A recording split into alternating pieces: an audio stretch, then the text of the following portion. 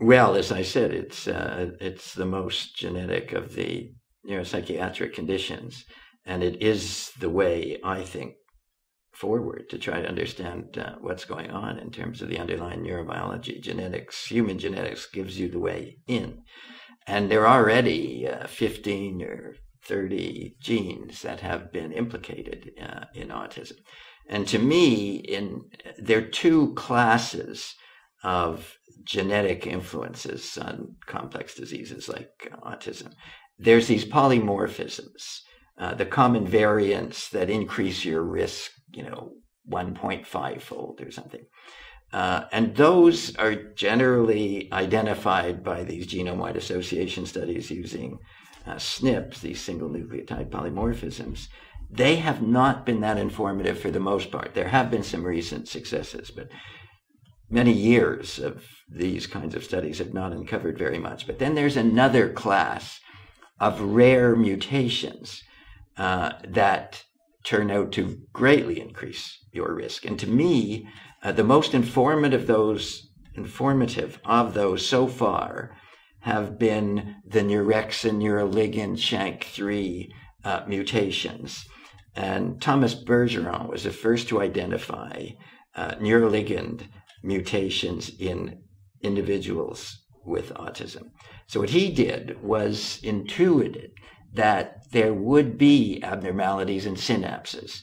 And so he looked at two genes, neuroligin 3 and neuroligin 4, which encode proteins that work only at synapses, and sequenced the protein coding regions of those in 150 or so autistic kids and in uh, neurotypical kids, and found two Swedish families in which one had a neuroligin 3 mutation, the other had a neuroligin 4 mutation, and there were two brothers in each of these families because he looked at families that were multiplex, that had two or more kids.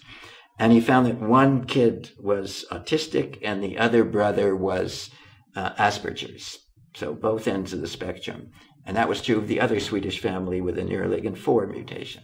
So that was the first evidence that a mutation that affects a protein that works only at synapses can give you both ends of the spectrum. I mean, that was a huge step forward in my view. Not everybody agrees with that, but in my view, that was a major step forward. And I think it's very likely uh, that a synaptic problem will be found to be at the heart of most kids uh, with uh, autistic spectrum disorders. But who knows? But then there's another class of um, single gene defects where if you have this mutation, you get a complex neurological disorder like Rett syndrome, Fragile X, Down syndrome, so on, uh, where autism is simply part of a more complex neurological disorder, and therefore they're called syndromic forms of autism, and they're very good mouse models of those. And to me, that's the way forward. You start with a big effect mutation in a human with the disease now you try to model that in an experimental animal like a mouse, and then you do the analysis in the mouse and try to figure out which part of the brain, what cell types in the brain, which synapses, which circuits, and try to model it in the experimental animal because you have powerful tools that you don't have in humans.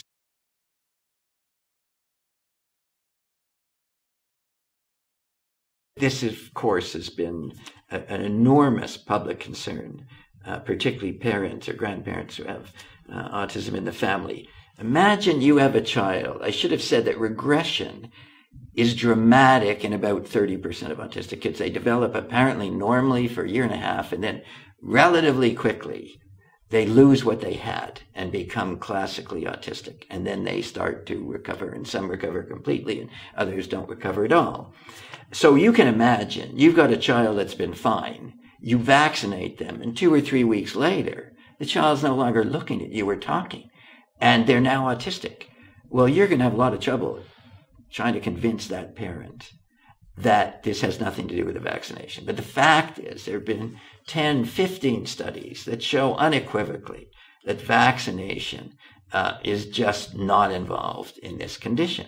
So the best study in a way is one from Denmark, where they showed many studies have shown this that the vast increase, 15 fold increase in incidence, uh, occurred uh, I guess, from 1990s onwards. Yet, the big concern about vaccination in the UK, it's MMR, mumps, measles, rubella vaccination. In the USA, they don't care about MMR. It's the mercury in the vehicle, thimerosal, that they're concerned about. And no doubt in other countries, they're worried about something else in vaccination. But the fact is, in the Denmark study, MMR was used in the 1970s, was introduced in the 1970s, but the increase didn't occur until the 1990s. Thimerosal they took out of the vaccines because of the American uh, concern for it in uh, the 1990s, but the incidence is unchanged. It had no uh, impact at all. So I think it's safe to say vaccination is a red herring. Even though your child has been vaccinated three weeks later, it's a, it's a coincidence. It's now a fairly common uh, condition. It's almost 1% now. So the question is, and so there will be coincidences when you have a common condition. Why is it 15 fold increased in, since 1990? And I think there's lots of reasons for that. Uh, one is that the diagnostic criteria broadened enormously. The other is people are much more attuned to autism than they were. I mean, parents know about it, teachers know about it, doctors know about it, and so on.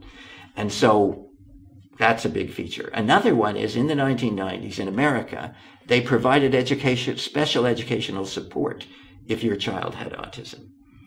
Well, that brought the autistic kids, you know, out of the houses, and everybody said, you know, my kid's autistic. I want remedial education and uh, speech therapy and all the extras for the child, which is what the child needs. So that in itself would greatly increase the incidence. And as a result of that, uh, at least in part, stigma more or less disappeared.